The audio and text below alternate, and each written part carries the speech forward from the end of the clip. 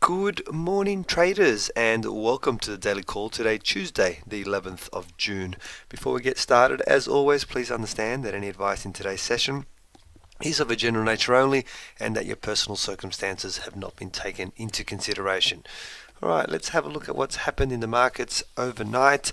Uh, the only data to come out was from the UK. We saw GDP numbers uh, miss the mark at negative 0.4%, and the manufacturing production number at minus 3.9%. That also missed the mark.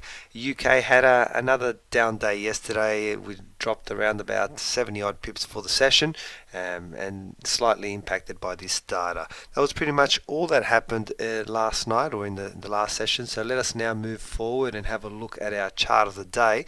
Our chart of the day this morning is it is the Euro USD uh, I had to readjust the lines. I think I showed you this chart last Friday from memory.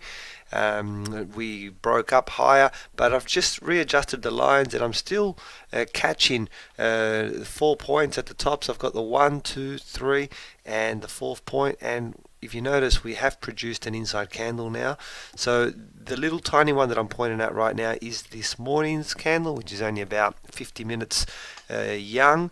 So we are set ready to go. We can place our pending order at the break of the bottom of the inside candle. We would be short into this uh, into the euro USD if we break the high of the inside candle well then you need to cancel out your order as it is as it is not valid. Um, if you're not sure on how to trade these go back have a look at the videos um, on price action uh, pattern trading and support lines and you'll see exactly how to place your stops etc but this one's ready to go. Let's see if we get triggered into it. Euro usd daily time frame is our chart of the day this morning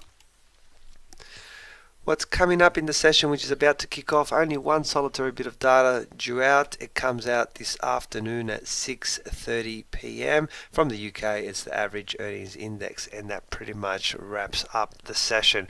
Guys as always please feel free to contact us if you do have any questions. Follow me on Twitter at ChatFX for trade setups and breaking news. Most importantly hope you all have a fantastic trading day. I'll speak to you tomorrow for the daily call. Bye for now